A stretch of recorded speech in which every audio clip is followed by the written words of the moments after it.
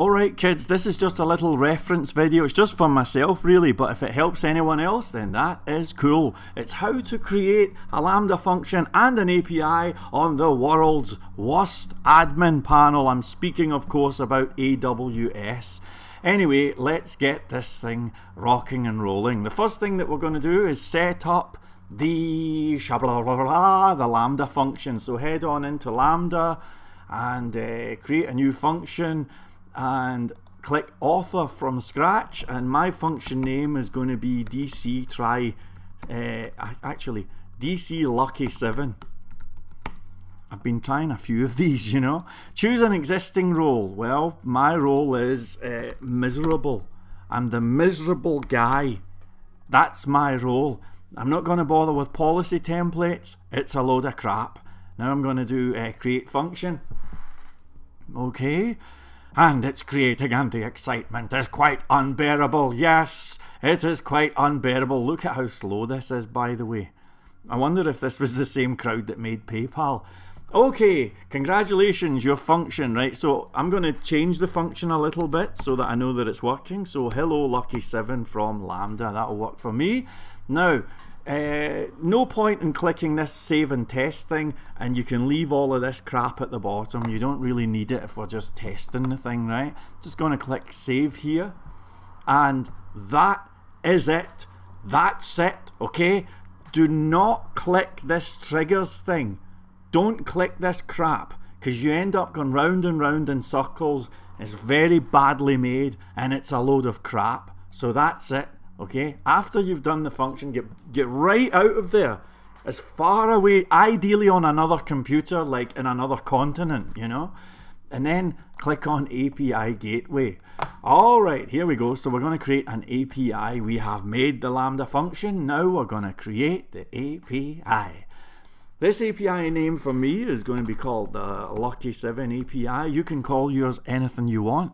Um, so Lucky7 API, we can leave the description stuff. Here we go. Oh, it's all happening.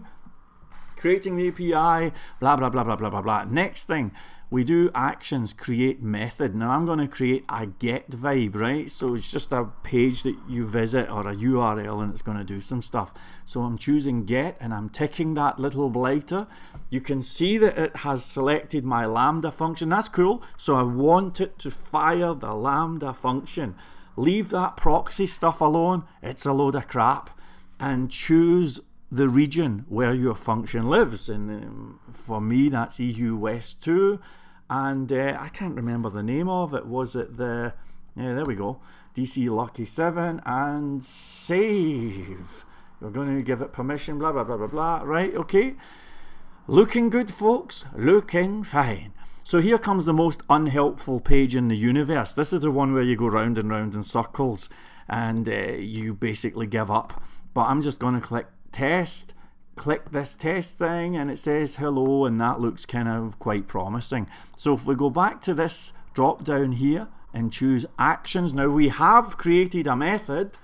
The next vibe is to create a resource and as far as we're concerned the word resource just means path in your mind, when you see the word resource, replace it with path. That's all it is.